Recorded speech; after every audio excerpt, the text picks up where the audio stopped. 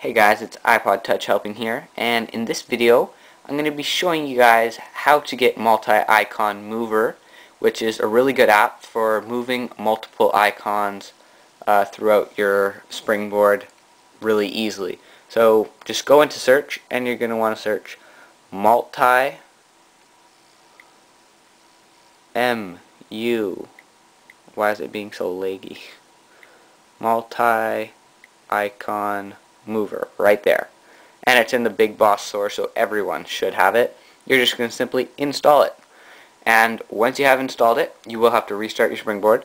And then what you're going to want to do when to move these icons is you just simply hold down so all the icons are moving you just click on certain apps and then you just go to the next page or wherever you want to drop them you just click the home button and they pop up. It's just that simple. So this is really good for people who, uh, if you're if you have like a certain theme and you want to move your, all your icons to a certain place, this is a really easy way on how to do that.